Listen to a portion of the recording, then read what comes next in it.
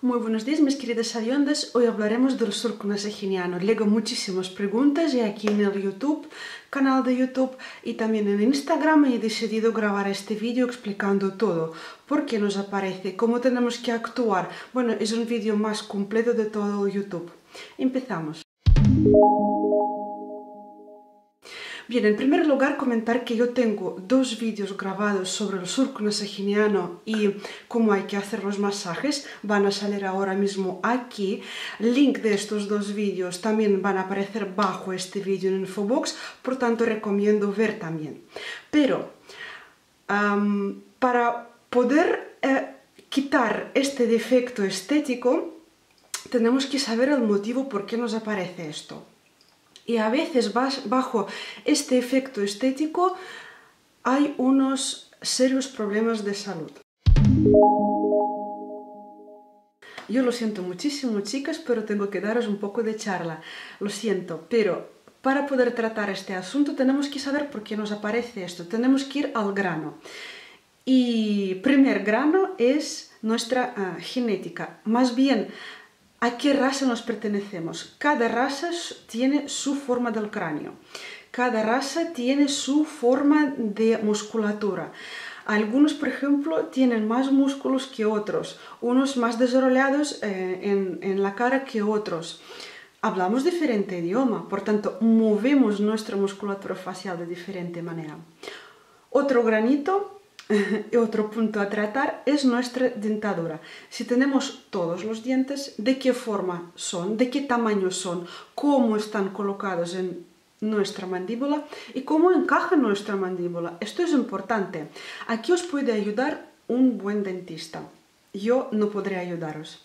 Tercer punto. Tercer punto es bruxismo o tensión mandibular. Ah, si estáis dudando si tenéis este mm, hábito o no, ir a un buen dentista también y os dirá de inmediato. Cómo hay que aliviar, eh, la tensión mandibular, el dolor y mm, de paso también aliviar el asunto del surco nasogeniano, yo explicaré un poquito más adelante en este vídeo, pero también recomiendo ver el vídeo sobre el bruxismo que yo tengo en mi canal, link bajo este vídeo en el infobox. Otro tema, es el punto número 4, es hinchazón, hinchazón crónico. Aquí hinchazón crónico, eh, puntos importantes a, tratar este asunto es alimentación y nuestra postura corporal. Yo lo siento muchísimo, pero si tenemos hombros caídos que oprimen diafragma, que tiran, desconectan el platisma, que tensan nuestros cervicales, que desconectan la musculatura de externo uh, cleomastoideo, que este a su vez está tirando y haciendo la, haciendo la tensión del músculo temporal y pterigoideo, eh, del músculo masetero, el músculo pterigoideo y el temporal, mmm, obviamente que vamos a tener el surco nasogeniano. Esto ya está más claro y otros asuntos también. Por tanto, revisemos alimentación, revisemos nuestra postura corporal y también en mi canal YouTube hay un vídeo, hay varios de hecho, pero hay un vídeo en particular sobre drenaje linfático. Esto os ayudará muchísimo. Y aquí ahora mismo va a aparecer el último punto y es muy importante y a saber y a tratar. Ah, es nuestro cuerpo. Cómo está unido nuestro cuerpo con nuestra cara. Ah, lo vais a ver aquí, yo lo voy a mirar aquí en la pantalla de ordenador. Aquí va, a aparecer el esqueleto con la musculatura. Y ya lo veis que la musculatura del muslo interno está unida a suelo pélvico. El suelo pélvico, la musculatura del suelo pélvico, se une directo a la musculatura de abdominal, todo el recto abdominal y oblicuo, o sea, todo el core entra en contacto directo con el pecho, la musculatura pectoral, que es el platisma, pasa por nuestro cuello y va directo a la musculatura eh, al músculo masetero, pterigoideo y temporal. Estas son las vías anatómicas, cómo funciona el cuerpo, cómo la musculatura de muslo interior va tirando de cadena a otros músculos. Esto es la ley del cuerpo. Y aquí no hay nada que hacer, solo obedecer la ley. Tenemos que trabajar muslo interior, suelo pélvico, glúteo, porque estos dos van juntos. Suelo pélvico también está directo conectado con ah, el diafragma. Estos dos están trabajando en combinación juntitos. Abdominal, todo el core en sí. Y luego la musculatura del pecho.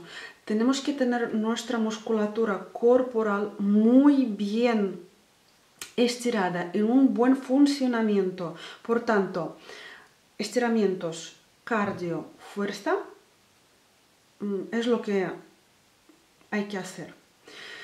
Si queremos tener una buena apariencia del surco nasogeniano.